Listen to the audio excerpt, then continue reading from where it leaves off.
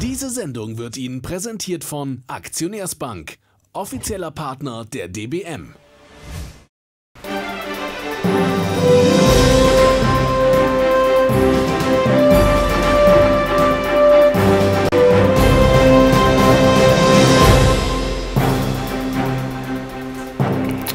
Meine Damen und Herren, herzlich willkommen zu einer zweiten Ausgabe von Leaderboard Stocks heute.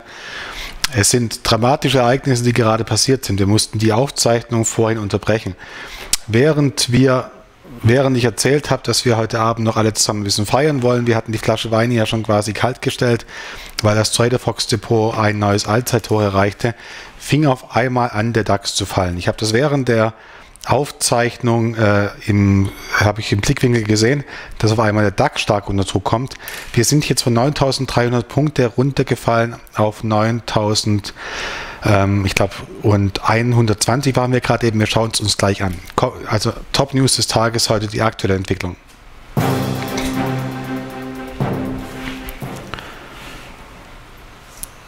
So, also der DAX ist auf einmal hat angefangen sehr stark zu fallen innerhalb von wenigen Sekunden. Wir haben geschaut, was, was für Nachrichten im Markt waren. Wir hatten einmal die Meldung, dass von ein, dass ein FED-Mitglied der amerikanischen Notenbank hat gemeint, dass die Arbeitsmarktziele erreicht sind.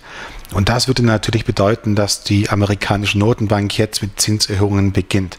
Aber vermutlich war eine ganz andere Meldung verantwortlich für diesen starken DAX-Absturz, den wir gerade gesehen haben. Gehen wir hierzu zu meinem Trading Desk, dann kann ich es Ihnen zeigen. Zunächst einmal, wovon spreche ich eigentlich hier? Wir hatten hier den DAX, Sie sehen hier den, den starken Kursverfall, der kurz nach 16.40 Uhr eingesetzt hat. Von über 9.300 ging es runter auf 9.120. Bei DPR und bei anderen Nachrichtentickern kamen dann nach und nach die Meldungen rein.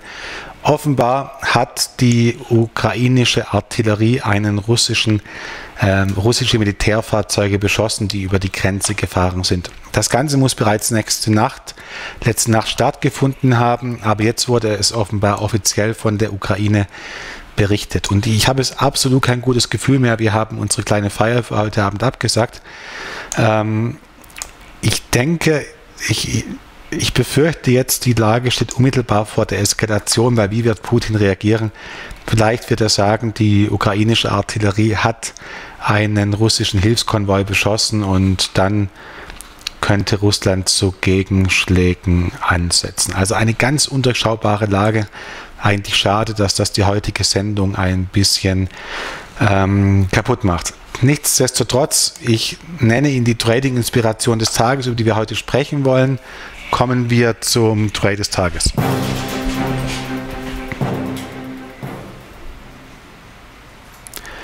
Der Trade des Tages wird präsentiert von der Aktionärsbank. Die Aktionärsbank hat gerade ein Angebot 2,95 Euro flat je Trade. Unschlagbar günstig, finde ich. Gehen wir nun aber gleich zu meinem Trading Desk weil dort können wir mal die aktuelle Situation betrachten. So, also DAX ist im freien Fall gerade wegen der Eskalation, die offenbar gerade in Russland leider stattfindet. Was ich Ihnen heute eigentlich zeigen wollte, ist die Aktie von Skywork Solutions, die auf ein neues Mehrjahreshoch ausgebrochen ist, als einer der stärksten Halbleiterwerte, als ein Profiteur der Internet der Dinge hat Skywork Solution ist sofort auf neue Hochs vorgestoßen. Das ist ja der Profiteur vom Internet der Dinge. Das wollte ich heute mit Ihnen besprechen, müssen wir jetzt aber canceln, weil das Trading-Szenario ist jetzt vorerst nicht mehr intakt.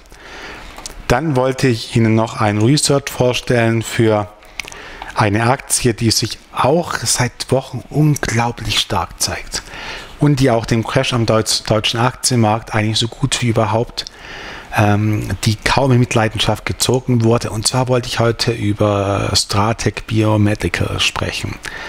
Oder ich glaube inzwischen nur noch Stratec.